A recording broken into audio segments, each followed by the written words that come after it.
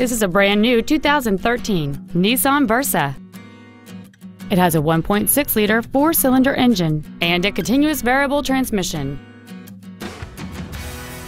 All of the following features are included. A low tire pressure indicator, traction control and stability control systems, cruise control, side curtain airbags, a rear window defroster, a rear spoiler, tinted glass, an anti-lock braking system, and air conditioning.